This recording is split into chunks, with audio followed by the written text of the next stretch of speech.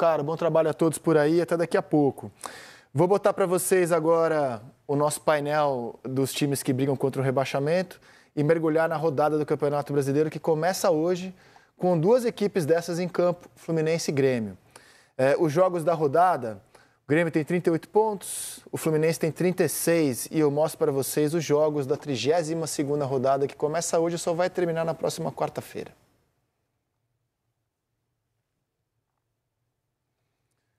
Hoje, portanto, Fluminense e Grêmio, amanhã Bragantino e Cuiabá, dois jogos de times envolvidos na briga contra o rebaixamento. É, Atlético Paranaense e Vitória, três jogos. Juventude e Fortaleza, Juventude também envolvido na briga, Fortaleza nesse momento brigando para se consolidar na vaga direta para a Libertadores. Aí na segunda-feira, Corinthians e Palmeiras, que jogo, hein? Que o Sport TV transmite direto da Neoquímica Arena em 4K. Inter e Criciúma se enfrentam na terça. Bahia e São Paulo também na terça. Botafogo e Vasco, terça. Na quarta tem Cruzeiro e Flamengo. E também na quarta, Atlético Goianiense e Galo. No domingo, como você já sabe, tem a final da Copa do Brasil, o primeiro jogo, e é no Maracanã, Flamengo e Grêmio. Lá estaremos com seleção abrindo a programação ao vivo do Sport TV a partir de meio-dia. Esse é o nosso painel dos times que hoje estão mais tensos com o rebaixamento. A gente excluiu deles o Lanterna Atlético Goianiense, que já declarou que vai jogar a Série B do ano que vem, e o Cuiabá, que está muito próximo também de seguir o mesmo rumo. E colocamos aqui os times que não querem ficar com as duas últimas vagas no Z4. Então, são oito clubes nesse momento brigando para não ficar com as duas vagas que a gente entende nesse momento estarem abertas no Z4. Fluminense e Grêmio se enfrentam hoje. A gente vai mostrar para vocês os últimos cinco jogos de cada um no campeonato e começar a debater sobre o momento das equipes do Mano Menezes e do Renato Portaluppi. O Fluminense vem da seguinte sequência: ele perdeu do Vitória com um erro de arbitragem, para mim bem claro, né? É, no finzinho do jogo. É, ele derrotou o Furacão no Maracanã, ele derrotou o Flamengo, ele derrotou o Cruzeiro e ele perdeu do Lanterna, o Atlético Goianiense. Então ele engatou uma sequência boa de três jogos, mas ela está no meio de dois resultados bem ruins, né? Contra uhum. adversários diretos. O Grêmio empata com o Botafogo em Brasília 0 a 0 derrota o Fortaleza na Arena, é, perde do Galo, perde o Grenal e ganha do Atlético Goianiense. Quem é que chega melhor para esse jogo, Coutinho? O Fluminense um pouquinho melhor. Os dois times oscilaram, se a gente pegar esse recorte aí de cinco rodadas. Tiveram momentos bons e ruins, mas acho que os momentos positivos do Fluminense foram maiores em relação ao do Grêmio e vejo também mais lógica na formação do time, no crescimento da equipe, principalmente se hoje o Fluminense tiver o retorno do Thiago Silva, é um, é um, um reforço fundamental para gerar mais segurança defensiva, para melhorar a saída de bola da equipe também. O Renato no Grêmio ele tem tentado equilibrar o time, né? É um grande problema do Grêmio desde o ano passado, mesmo com o vice-campeonato brasileiro. Era um time extremamente desequilibrado, que cedia muitas chances de gols e gols aos adversários, mas tinha um cara altamente decisivo na frente, por isso conseguiu fazer uma grande campanha. Nesse ano não tem um jogador desse nível, teve todos os problemas que o, que o clube passou, assim como outros do Rio Grande do Sul.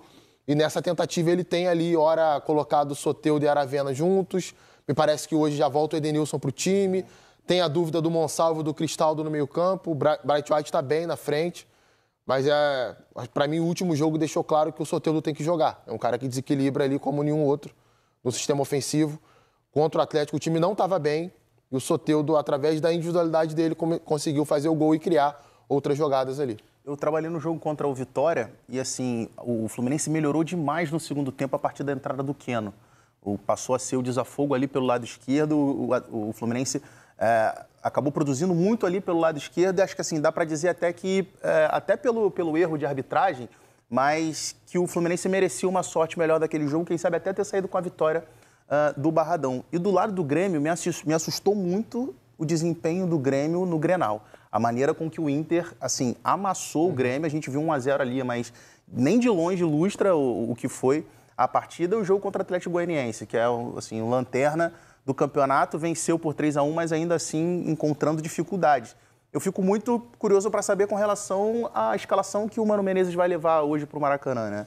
É, se, aí, pelo menos pelas prévias, dá o Lima novamente como titular pelo lado esquerdo. Eu acho que deveria entrar com o Keno, porque vai ser um jogo onde o Fluminense vai precisar ser agressivo, vai precisar ter esse cara que rompe linhas, que cria oportunidades principalmente ali pelo lado esquerdo, muito mais do que um cara que vai te trazer exatamente um pouco mais de, de, de equilíbrio.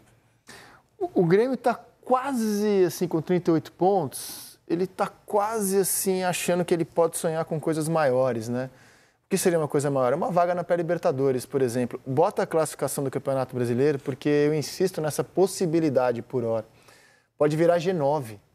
Né? É, hoje, a gente vai até o sexto colocado. Né? Os quatro primeiros têm vaga direta e o quinto e o sexto vão para a pré-Libertadores. Se o Botafogo ganha a Libertadores, já conquista sua vaga direta, vira G7. Se o Flamengo ganha a Copa do Brasil, conquista sua vaga direta, vira G8. E se o Cruzeiro estiver eh, eh, nessa posição entre os oito primeiros e ganhar a Sul-Americana também com vaga direta, vira G9. E, e o, o, G9 hoje vai até o Vasco, que tem 43 pontos, ou seja, o Grêmio estaria a cinco pontos de um possível G9. É, como vocês mencionaram, o Galo, se perder essa vaga direta, vai querer acelerar no brasileiro e tal. Mas se virar G9, cara, vai, vai ser uma briga assim de quase todo mundo que não cai vira candidato automático a pegar uma vaga na Libertadores. E o, e o Grêmio, tem, é? o Grêmio tem uma questão que, assim, dos sete últimos jogos do Grêmio, quatro são confrontos diretos com a galera ali da parte de baixo. É, vai pegar Corinthians, é, vai pegar Fluminense hoje, é, depois pega é, Palmeiras, Juventude, e aí nas duas últimas rodadas tem Vitória e Corinthians. Então, assim, é, a gente está vendo aí a sequência. É, assim, é meio que céu e inferno. Se conseguir somar pontos ali importantes contra essas quatro equipes, realmente nada impede do Grêmio, nessa farra que é de, de, de vagas para Libertadores dentro do Campeonato Brasileiro, pode acabar pingando alguma coisa. Mas o, o, eu acho que o sucesso do Grêmio em relação aos resultados passa pela escalação do Soteudo. Sim. Toda vez que o Soteudo fica fora, é verdade que ele não teve em alguns jogos um, bom rendimento, mas a questão é a característica. Né? Ele é um jogador que ele pode desequilibrar o adversário com drible, ele é um driblador, ele é um jogador de, capacidade do drible em velocidade, né? Uhum. Ele pode criar situações pelo lado do campo, e ele gosta daquele lado esquerdo, é, para o ataque do Grêmio. É, o, a postura do Grêmio no Grenal muda a partir do momento que ele entra. Ele estava no banco, a partir do momento que ele entra, lógico, o Renato teve, fez outras substituições, né? Mas eu digo pela característica. Então hoje, não sei se ele vai entrar jogando, não, né? mas o sucesso do Grêmio passa no jogo de hoje por ele. E do Fluminense, é, o Keno entrou muito bem, é verdade, no jogo contra o, contra o Vitória. É um jogador também com essa característica de lado de campo, de profundidade, de driblador. É, mas eu acho que do lado do Fluminense passa pelo como vai estar o Ganso. O Ganso vai estar bem hoje? Ele vai estar com aquela, né, com aquele futebol que ele vem mantendo de qualidade, de, de, criar, de colocar os companheiros em condição, então o Fluminense é muito forte, porque ele pode fazer diferença. Então, o jogo, diferença. o jogo contra o Vitória, acho que até a formação com que o Mano entrou prejudicou muito Sim. o Ganso nesse sentido, porque entrou de uma maneira mais reativa, onde você mina um jogador como o Ganso, Lógico. e aí quando o Keno entra em campo, o Ganso já está muito desgastado fisicamente, então ele não consegue contribuir da maneira... Por isso que eu acho que hoje, assim, a, a escalação que eu usaria seria essa do jogador de profundidade, de velocidade, o Keno, com esse cara, o Ganso, o cara cerebral que vive uma excelente fase, iniciando o jogo ali com, com um tanque cheio fisicamente. O Fluminense é um dos melhores times do retorno, né? Ele é G6 do retorno.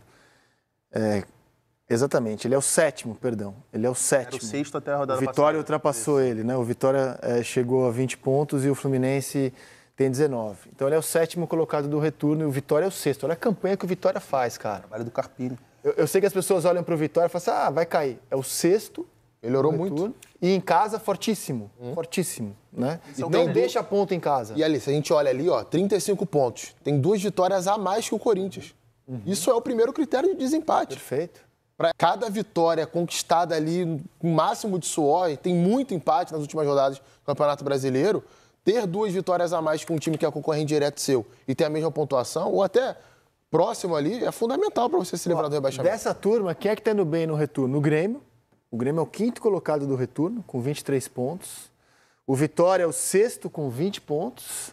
É, e o Fluminense é o sétimo. É o pessoal que no retorno está contando uma história muito diferente uhum. daquela que fez no primeiro turno. Então vocês não estranhem Como é que um time que está brigando contra o rebaixamento vai ter candidato a craque do mês? É porque o momento do Fluminense, no caso, que tem um dos candidatos a craque do mês, é bom. Né? Ele é um dos melhores times nesse momento. Por outro lado, também Atlético Paranaense e Bragantino estão fazendo uma força para cair. Verdade. Caiu muito o rendimento. Comovente. Sim. O Juventude também está. Né? O Atlético Paranaense, é, junto com o Cuiabá e o Bragantino, são os times que menos pontuaram no retorno, apenas nove pontos. Mas antes de eleger é, o craque do mês, o gol do mês, a gente vai mostrar os jogos que